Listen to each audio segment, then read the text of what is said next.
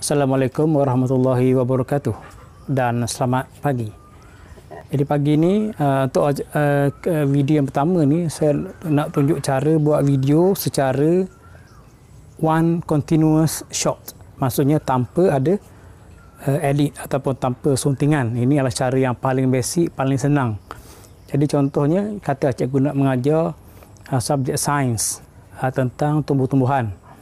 Jadi uh, cikgu letak aja kamera tu biar masuk semua apa yang kita nak cerita tu kata tajuk hari ni ialah tentang bahagian-bahagian pokok. Jadi kita sediakan bahan-bahan tu siap-siap.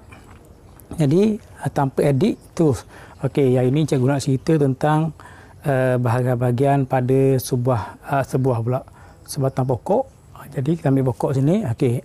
yang pertama kita pergi dekat dengan kamera. Okey, bahagian yang ini kita namakan sebagai daun. Ha, bahagian ini namakan daun. Ini dinamakan batang.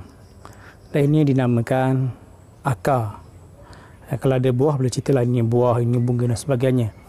Jadi ha, cara ini cara paling senang. Kita tak perlu edit apa-apa pun. Jadi video ini boleh terus digunakan dan boleh terus upload. Ini cara yang yang pertama. Ini pula cara yang kedua di mana melibatkan sedikit suntingan secara sangat minimal yang kita namakan sebagai inserts. Uh, suntingan secara insert, secara uh, masukkan saja. Okey, contoh. Okey, pagi ini uh, cikgu nak bercerita tentang bahagian-bahagian pada pokok. Jadi bahagian pertama ialah bahagian uh, dinamakan daun.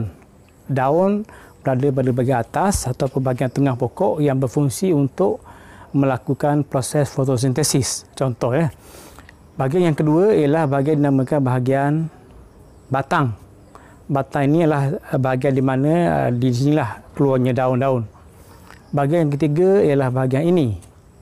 Iaitu bahagian dinamakan bahagian akar. Akar ini berfungsi untuk menyerap nutrien dan juga air daripada medium tanaman. Sama ada tanah, uh, sama ada Uh, kokopit sama ada uh, air dan sebagainya. Jadi uh, ini adalah cara di mana melibatkan sedikit suntingan di mana kita tampalkan gambar tu ke kemudian.